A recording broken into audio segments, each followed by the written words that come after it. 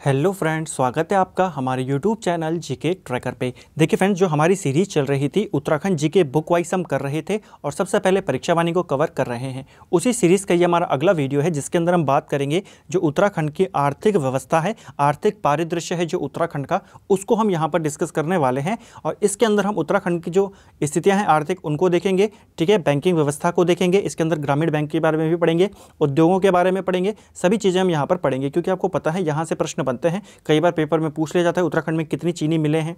कितनी निजी मिले हैं? सारे क्वेश्चन हम यहाँ पर कवर करेंगे। तो चलिए वीडियो को स्टार्ट करते हैं। और अगर आपने अभी तक हमारी जो प्रीवियस वीडियो है, उनको नहीं देखा है तो प्लेलिस्ट में जाकर आप उनको देख सकते हैं। लिंक नीचे डिस्क्रिप्शन में मैंने डाला हुआ है। अब देखिए, इसके अंदर सबसे पहला जो इम्पोर्टेंट पॉइंट है हमारा, वो यह है कि राज्य गठन से पहले यहाँ की जो अर्थव्यवस्था थी, वो किस प्रकार की थी? तो वह मनी ऑर्डरी प्रकार की थी, यानी कि मनी ऑर्डर ही आते थे, यहाँ पे कोई रोज़गार के ज़्यादा अवसर नहीं थे राज्य गठन से पहले, ठीक है? तो किस प्रकार की अर्थव्यवस्था थी? मनी ऑर्डर प्रकार की थी। दूसरा जो महत्वपूर्ण पॉइंट है, वो यह है कि उत्तराखंड को विशेष राज्य का दर्जा कब मिला। आपको डायरेक्टली प्रश्न बन सकता है कि उत्तराखंड को विशेष राज्य का दर्जा कब दिया गया? तो 1 अप्रैल 2001 को उत्तराखंड को विशेष राज्य का दर्जा दिया गया, ठीक है? और यह दर्जा पाने वाला उत्तराखंड कौन सा राज्य था? यह ग्यारहवां राज्य था, ठीक है? अब सबसे पहले बात करते हैं जो विशेष राज्य हैं, वो कौन कौन से हैं? देखिए सबसे पहले असम को, जम्मू कश्मीर को और नागालैंड को उन्नीस सौ उनहत्तर में विशेष राज्य का दर्जा दिया गया था, ठीक है? हिमाचल प्रदेश चौथा राज्य बना जिसको विशेष राज्य का दर्जा दिया गया। इसके अलावा मणिपुर, मेघालय और त्रिपुरा। ये 72 में और सिक्किम, मिजोरम और अरुणाचल को मिला 1975 में और उसके बाद 2001 में मिला उत्तराखंड को, ठीक है? अब देखिए, जो विशेष राज्य होते हैं और जो दूसरे राज्य होते हैं, उनमें फ़र्क क्या होता है? जो विशेष राज्य होते हैं, उनको केंद्र सरकार से जो पैसा मिलता है, उसमें जो नब्बे फ़ीसदी होता है, वो अनुदान होता है और जो लोन होता है, जो केंद्र सरकार लोन देती है, वो केवल दस फ़ीसदी होता है। जबकि दूसरे राज्यों पर लोन कितना होता है? तीस फ़ीसदी वहाँ पर लोन होता है, ठीक है? तो अनुपात यहाँ पर आपको पूछा जा सकता है कि जो केंद्र सरकार पैसा देती है विशेष राज्यों में, उसका अनुदान कितना होता है और वहाँ पर लोन कितना होता है? तो नब्बे दस का यहाँ पर रेशो होता है और वहाँ पर कितना होता है? जो नॉन विशेष राज्य होते हैं, सत्तर तीस का, ठीक है? अब यहाँ से चलते हैं कि राज्य की अर्थव्यवस्था में किस क्षेत्र का कितना योगदान है। हमको पता है, हमारी अर्थव्यवस्था के तीन प्रमुख घटक हैं, प्राथमिक क्षेत्र, द्वितीय क्षेत्र और तृतीय क्षेत्र। प्राथमिक क्षेत्र जो सीधा प्रकृति से जुड़े होते हैं, जैसे कृषि हमारी इसी के अंदर आती है। द्वितीय क्षेत्र वे हो गए जो प्रकृति से रॉ मटेरियल लेते हैं, फिर उनको प्रोसेस करते हैं, जैसे हमारे उद्योग, ठीक है? और तृतीय क्षेत्र में आते हैं, जैसे कि सेवा क्षेत्र, चाहे वो बैंकिंग हो पोस्ट ऑफ़िस हो, जो भी हमारे ये ये सारे किस प्रकार में आते हैं, सेवा क्षेत्र में आते हैं। तो आप देखेंगे, राज्य की अर्थव्यवस्था में सर्वाधिक योगदान किसका है? द्वितीय क्षेत्र का है, उसके बाद तीसरे क्षेत्र का है और फिर प्राथमिक क्षेत्र का है, ठीक है? तो ये आपको ध्यान में रखना है। सबसे ज़्यादा योगदान किसका है? द्वितीय क्षेत्र का, दूसरा तीसरे क्षेत्र का और फिर प्राथमिक क्षेत्र का, ठीक है? अगला जो हमारे पास महत्वपूर्ण पॉइंट है, वह है कि राज्य के अंदर जो टैक्स लगते हैं तो उनमें जो प्रमुख टैक्स हैं, हम यहाँ पर उनको पढ़ते हैं कि कर के प्रमुख स्रोत कौन कौन से हैं, ठीक है? चलिए, अब बात करेंगे, देखिए राजस्व का सबसे बड़ा स्रोत कौन सा है? तो किस कर के द्वारा राज्य सरकार को सबसे ज़्यादा आमदनी होती है? कौन कौन सा कर है वह? वाणिज्य कर या फिर व्यापार कर? तो इस कर के द्वारा जो गवर्नमेंट होती है, उसको यहाँ पर सबसे ज़्यादा इनकम होती है। आपको प्रश्न बन सकता है कि राज्य की आय का प्रमुख स्रोत कौन सा कर है? तो वहाँ है वाणिज्य कर या फिर व्यापार कर। दूसरे नंबर पर कौन सा आता है? दूसरे नंबर पर स्टाम्प कर करके आता है, ठीक है? तो यह आपको ध्यान में रखना है, ठीक है फ्रेंड्स? अब बात करते हैं, देखिए, वैट लागू कब किया गया? वैट लागू हुआ, वैट भी एक वैल्यू एडिड टैक्स है, ठीक है? और जो केंद्र जो राज्य सरकार लगाती है, वो है वैट, ठीक है? तो यह लागू किया गया एक अप्रैल 2005 को, और यह लागू करने वाला उत्तराखंड बाईसवां राज्य था, ठीक है? तो आपको प्रश्न बन सकता है, उत्तराखंड में वैट जो है, ये कब लागू किया गया? एक अप्रैल 2005 को, कौन सा राज्य बना? बाईसवां राज्य, ठीक है? जीएसटी की बात करें तो जीएसटी उत्तराखंड के अंदर कब लागू हुआ था? एक जुलाई 2017 को, और यह लागू करने वाला उत्तराखंड पांचवा राज्य था, ठीक है? आपको जीएसटी की दरें भी पूछी जा सकती हैं कि जीएसटी की दरें कौन, कितनी दरें होती हैं? तो जीएसटी की चार दरें होती हैं, पाँच परसेंट वाली होती है एक, बारह परसेंट होती है अट्ठारह परसेंट होती है, और अट्ठाईस परसेंट होती है, ये आपको ध्यान में रखना है, ठीक है? जबकि वैट के अंदर कितनी दरें थी? वैट के अंदर तीन दरें थी ठीक है फ्रेंड्स, ये शायद इतना डिटेल में ना पूछा जाए। अगर बात करें, एक और यहाँ पर टैक्स लगाया गया था ई वे बिल व्यवस्था यहाँ पर की गई थी, ठीक है? तो राज्य के अंदर जो माल आता है, जो भी हमारा सामान आता है, उसके परिवहन के लिए ये व्यवस्था की गई थी। ये कब से लागू है? 20 अप्रैल 2018 से। तो आपको प्रश्न बन सकता है, राज्य में ई वेल बिल व्यवस्था कब से लागू है? 20 अप्रैल 2018 से, ठीक है? तो यहाँ पर आपको दो तीन पॉइंट ध्यान में रखने बस। सबसे बड़ा स्रोत कौन सा है? वाणिज्य कर व व्यापार कर। दूसरे नंबर पे कौन सा कर आता है? तो वहाँ आता है स्टाम्प एवं निबंधन कर, ठीक है? तो वो आता है दूसरे नंबर पे। इसके अलावा अन्य अन्य कर भी लगाए जाते हैं, जैसे आबकारी कर भी लगता है, ठीक है? ये आपको ध्यान में रखना है। आबकारी कर लगता है, मनोरंजन कर लगता है, ठीक है फ्रेंड्स? अब यहाँ पे हम देखेंगे उत्तराखंड के जो अंदर बैंकिंग व्यवस्था है, वो किस प्रकार की है, ठीक है?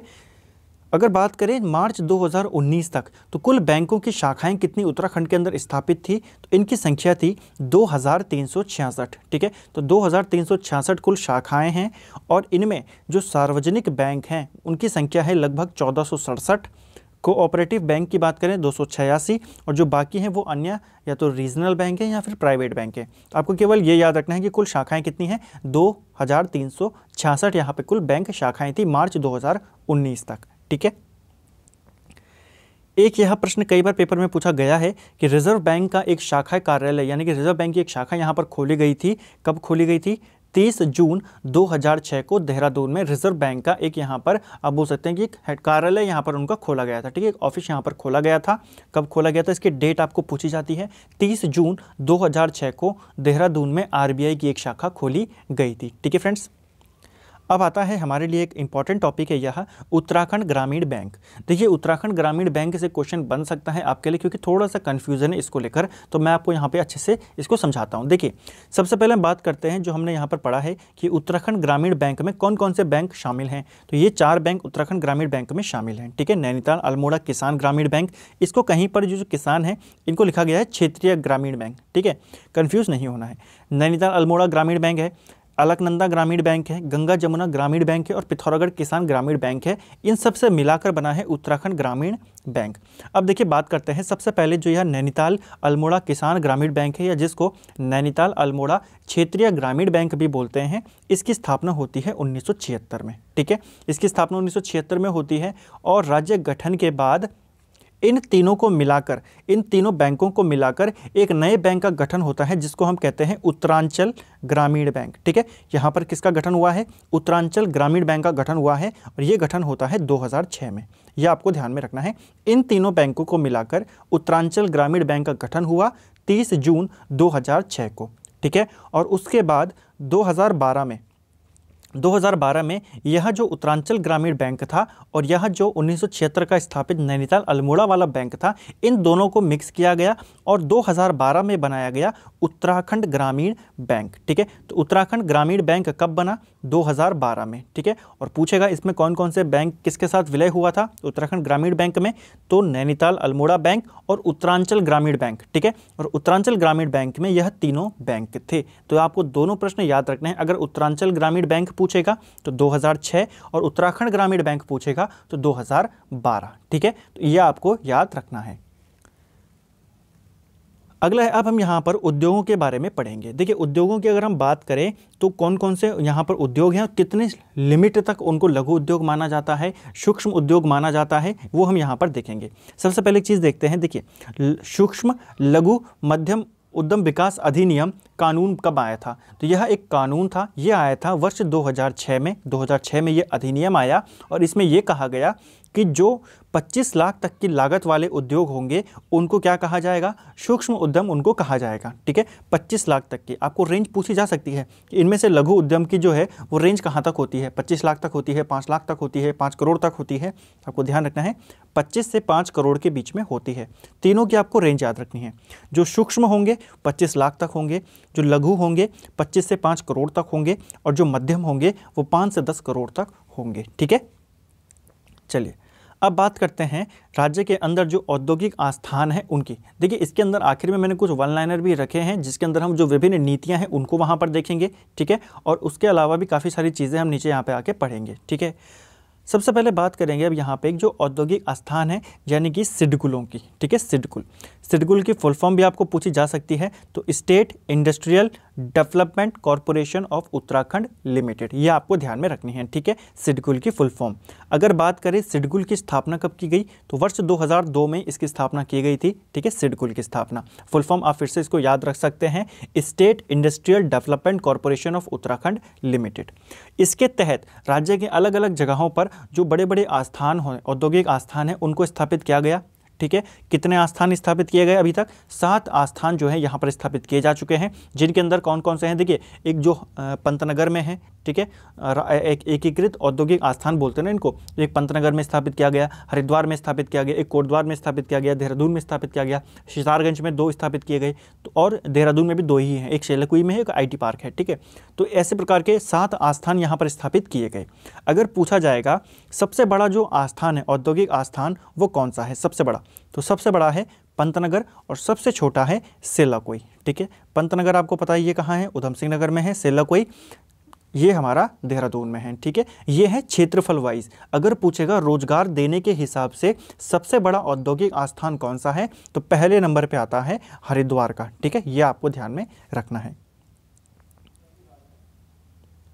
अगला है यहाँ पर हमारा कि कुल चीनी मिले। तो उत्तराखंड के अंदर चीनी मिलों की संख्या कितनी है, ये आपने बताना है। देखिए, उत्तराखंड के अंदर भी वर्तमान में सात चीनी मिले हैं, ये आपको ध्यान में रखना है। जिनमें से दो सरकारी हैं, दो सहकारी हैं और तीन निजी यहाँ पर चीनी मिले हैं, ठीक है? जबकि अगर पहले की बात करें 2018 के करीब की बात करें तो राज्य के अंदर दस चीनी मिले थी, जिनमें से चार जो थी वो सहकारी थी, चार सरकारी थी और दो सरकारी थी और चार निजी थी, ठीक है? तो कितनी थी कुल? दस थी वहाँ पर। चार सहकारी थी और दो सरकारी थी और चार वहाँ पे निजी थी। लेकिन अभी वर्तमान में कितनी हैं? तो दो सरकारी हैं, दो सहकारी और तीन निजी यहाँ पे चीनी मिले हैं, कुल सात हैं।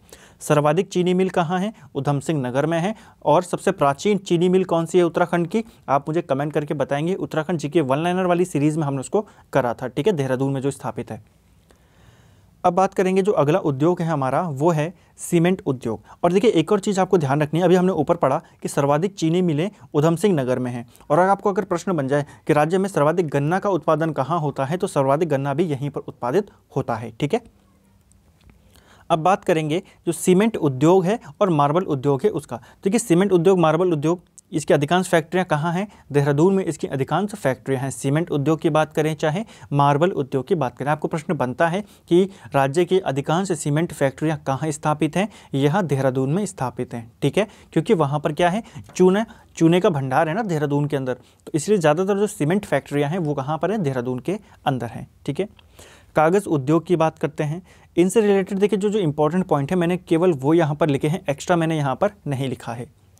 कागज़ उद्योग की बात करें तो अधिकांश जो कागज़ मिले हैं, वो कहाँ हैं? तो वो हैं नैनीताल और उधम सिंह नगर में। ठीक है, जो मैक्सिमम कागज़ के मिले हैं, वो कहाँ हैं? वो इन्हीं दोनों जनपदों में हैं। और एक सबसे बड़ी कागज़ जो उद्योग है, एशिया का, वो भी उत्तराखंड के अंदर स्थित है। कौन सा है? Century paper and pulp board. ये कहाँ स्थित है? लाल कुआँ नैनीताल में स्थित है और यह एशिया का सबसे बड़ा कागज़ उद्योग है, यह आपको ध्यान में रखना है। तो प्रश्न बन सकता है, century paper and pulp board कहाँ स्थित है? यह लाल कुआँ नैनीताल में स्थित है। ठीक है? अगला है यहाँ पर सूती वस्त्र उद्योग। सूती वस्त्र उद्योग की बात करें तो इसके अंदर से आपको केवल एक ही इंपॉर्टेंट क्वेश्चन देखने को मिलता है कि राज्य की सबसे पुरानी सूती वस्त्र मिल कहाँ स्थित है। तो सबसे पुरानी जो सूती वस्त्र मिल है, वह काशीपुर में स्थापित है। ठीक है, कहाँ पर स्थापित है? काशीपुर के अंदर स्थापित है। कुछ अन्य प्रमुख यहाँ पर उद्योग हैं, उनको देख लेते हैं यहाँ पर, क्योंकि पेपर में इनकी लोकेशन पूछी जाती हैं। देखिए, सबसे पहला है हमारा Indian drugs and pharmaceutical limited तो Indian drugs and pharmaceutical limited की बात करें तो यह ऋषिकेश में स्थित है, ठीक है? ऋषिकेश किसमें आता है? हरिद्वार में आता है कि देहरादून में आता है? आप मुझे कमेंट करके बताएँगे, ठीक है? ऋषिकेश। वैसे देहरादून में आता है, मैं ही आपको बता देता हूँ, ठीक है? आपको भी पता होगा। तो Indian drugs and pharmaceutical limited जो है, यह ऋषिकेश देहरादून के अंदर है। इंडियन मेडिसिन फार्मास्यूटिकल लिमिटेड देखिए, इनके नाम जो है ना थोड़े थोड़े मिलते जुलते नाम हैं, इसलिए आपको ध्यान रखना है। इसके अलावा एक और है Indian institute of Ayurveda for drug research ठीक है? उसका भी नाम इन्हीं से इन्हीं से मिलता जुलता है तो आपको तीनों को याद रखना है। सबसे पहले देखते हैं Indian drugs and pharmaceutical limited ये है ऋषिकेश में। अगर आएगा इंडियन मेडिसिन फार्मास्यूटिकल लिमिटेड तो ये मोहान में है। तो माँ से माँ आप याद रख सकते हैं, मेडिसिन और मोहान। मोहान अल्मोड़ा में है, और जो मैंने बोला कि Indian institute of Ayurveda for drug research ये ताड़ी खेत में है, ठीक है? ये भी अल्मोड़ा में है। ठीक है? तो दो जो हैं वो अल्मोड़ा के अंदर हैं, एक मोहान में है, मेडिसिन वाला और जो आयुर्वेद वाला है वो ताड़ी खेत में है, ठीक है? और जो ड्रग्स हैं वो ऋषिकेश के अंदर है, ठीक है? अगला है यहाँ पर जो उद्योग हमारा, हिंदुस्तान एंटीबायोटिक लिमिटेड। तो हिंदुस्तान एंटीबायोटिक लिमिटेड जो है, यह यह भी ऋषिकेश में है। कोऑपरेटिव ड्रग्स फैक्ट्री, ये रानीखेत के अंदर आता है, अल्मोड़ा में। बी एच ए एल यानी कि भारत हैवी इलेक्ट्रॉनिक्स लिमिटेड जो है, यह रानीपुर, हरिद्वार में है। कई बार एग्ज़ाम में क्या होता है, आपको केवल रानीपुर दे देगा और दो तीन ऑप्शन दे देगा। रानीपुर दे देगा, रानीखेत दे देगा, रानीबाग दे देगा, इस तरीके के कन्फ्यूजिंग के लिए। आपको ध्यान रखना है B H E L Ranipur में है, हरिद्वार में। हिंदुस्तान मशीन टूल्स, जिसको हम एचएमटी कहते हैं, यह रानी बाग में है, यह नैनीताल में है, ठीक है?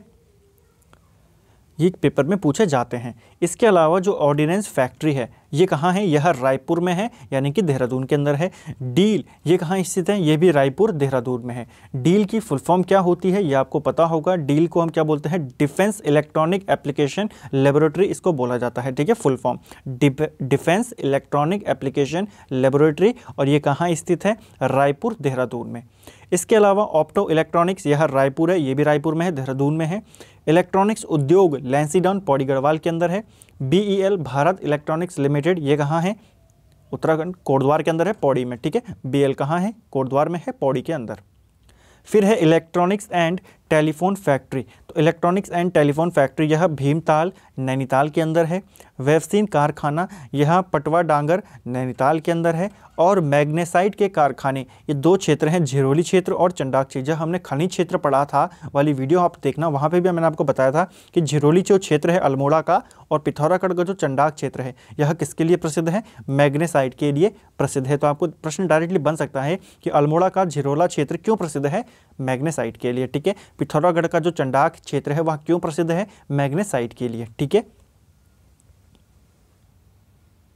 इसके अलावा हम बात करेंगे कुछ हस्तशिल्प और लघु जो और कुटीर उद्योग है यहाँ पे उनकी।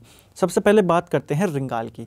रिंगाल की बात करें तो इससे कंडी, चटाई, मोस्टा, टोकरी आदि ये सब बनाए जाते हैं रिंगाल से। यह आपको ध्यान में रखना है रिंगाल से, क्योंकि प्रश्न पेपर में बनते हैं यहाँ से, ठीक है? कि रिंगाल का उपयोग किसमें किया जाता है? एक प्रश्न बना भी था ये, जो बंदी रक्षा का पेपर होता है 2016 के अंदर, उसमें इससे एक प्रश्न बना था।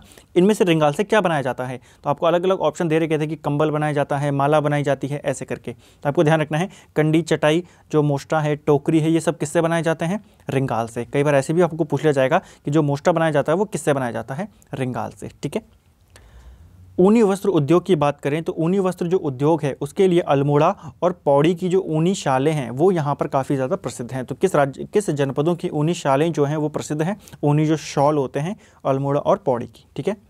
कालीन उद्योग की बात करें तो पिथौरागढ़ का जो धारचूला है और मुंशियारी है, ये कालीन उद्योग के लिए प्रसिद्ध है, ठीक है? कौन कौन से हैं? पिथौरागढ़ प्रसिद्ध है कालीन उद्योग के लिए। पर्टिकुलर कौन कौन सी जगह हैं? धारचूला और मुंस्यारी ठीक है, यह आपको ध्यान में रखना है। इसके अलावा धातु शिल्प उद्योग की बात करें तो धातु शिल्प उद्योग में ताम्र धातु के लिए सबसे ज़्यादा प्रसिद्ध है अल्मोड़ा। इसको पीतल नगरी या ताम्र नगरी भी कहा जाता है। यह भी पेपर 2016 में पूछा गया था, ठीक है? समीक्षा अधिकारी के एग्ज़ाम में। तो धातु शिल्प के लिए कौन सा प्रसिद्ध है? धातु शिल्प में अगर हम ताम्र शिल्प की बात करें तो अल्मोड़ा प्रसिद्ध है ताम्र धातु उद्योग के लिए, ठीक है?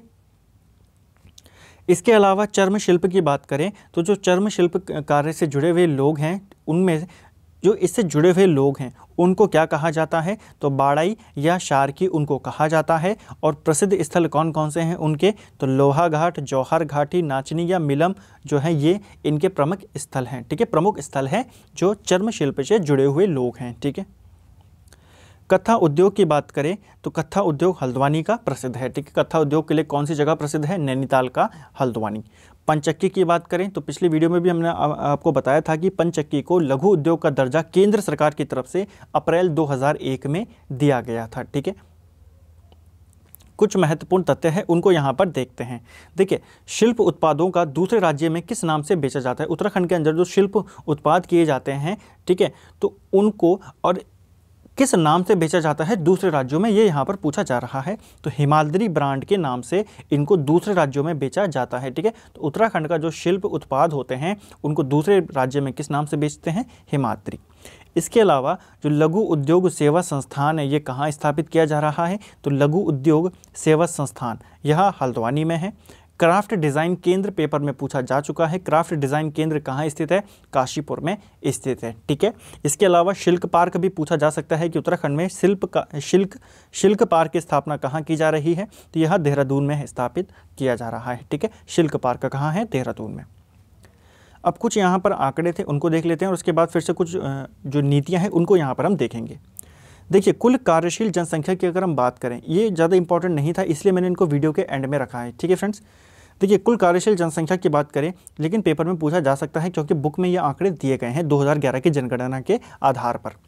अगर बात करें कुल कार्यशील जनसंख्या, यानी कि उत्तराखंड के अंदर अंदर अगर 100 लोग रहते हैं तो उनमें से अड़तीस दशमलव उनतालीस प्रतिशत लोग क्या करते हैं? कार्यशील लोग हैं, ठीक है? मुख्य कार्यशील की बात करें तो इनमें से जो 38 लोग हैं, ये कार्यशील हैं, इनमें से जो चौहत्तर फ़ीसदी हैं, वो मुख्य कार्यशील हैं और जो 25 फ़ीसदी हैं, ये कैसे हैं? ये सीमांत कार्यशील हैं, यानी कि इनको साल में कुछ महीने में ही काम मिलता है और जो मुख्य कार्यशील है, यानी कि पूरे बारह महीने इनको काम मिलता है, ठीक है? तो यह आपको ध्यान रखना है, इन अड़तीस की बात हो रही है केवल।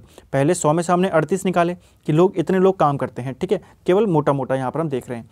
और फिर हमने देखा कि इस अड़तीस में से जो चौहत्तर फ़ीसदी हैं, उनको पूरे साल काम मिलता है और जो बाकी के लगभग छब्बीस फ़ीसदी है, उनको कुछ महीने में ही काम मिलता है, ठीक है? और फिर जो ये 38 परसेंट हमने देखा ऊपर कि 38 परसेंट लोग कार्यशील हैं, इनमें से 27 परसेंट जो हैं वो कृषक हैं 6 परसेंट लगभग वो हमारे श्रमिक हैं और एक दो परसेंट के करीब जो है वो घरेलू उद्योगों में काम करते हैं, बाकी जो अन्य क्षेत्रों में है वो अड़तीस फ़ीसदी उनकी संख्या है, ठीक है?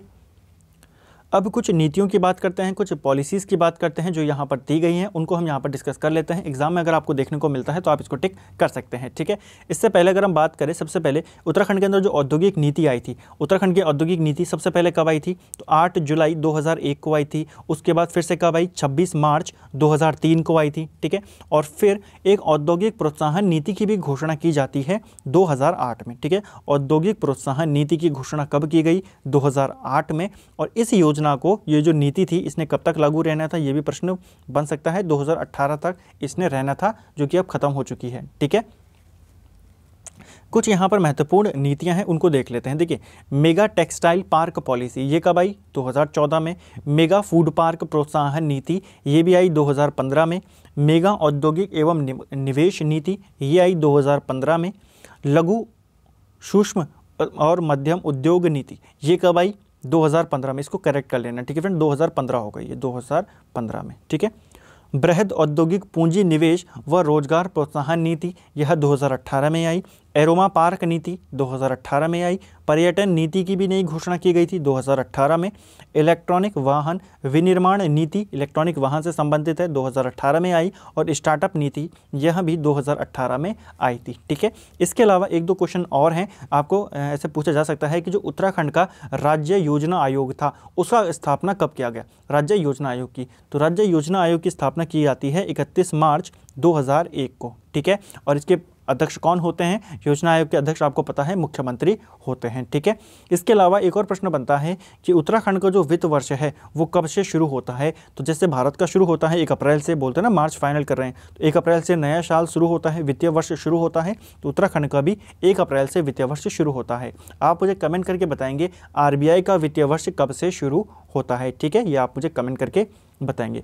तो फ्रेंड्स, ये था हमारा जो उत्तराखंड का आर्थिक परिदृश्य है, उसको हमने यहाँ पर देखा। उम्मीद करता हूँ मैं आपको अच्छे से इस चैप्टर को समझाने में कामयाब रहा, क्योंकि चैप्टर थोड़ा सा जटिल था, काफ़ी ज़्यादा कन्फ्यूज़न अंदर थे बुक के अंदर कि इसको कैसे पढ़ा जाए, कैसे इसके नोट्स बनाए जाएँ, ठीक है? तो उम्मीद करता हूँ आपको वीडियो अच्छा लगा होगा। वीडियो पसंद आया तो वीडियो को लाइक करें शेयर करें चैनल पर नए हैं तो चैनल को सब्सक्राइब करें, अपने दोस्तों के साथ ज़रूर शेयर करें। Thank you friends